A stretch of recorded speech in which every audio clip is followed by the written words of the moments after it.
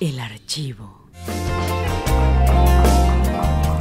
El hijo de Gustavo Cerati explota contra una persona que reveló detalles sobre la salud de su padre. Jorge Tita, director de un centro especial para la columna vertebral en Córdoba, visitó a Gustavo Cerati en la clínica donde el músico permanece internado tras su accidente cardiovascular desde mayo de 2010 y contó detalles de su salud.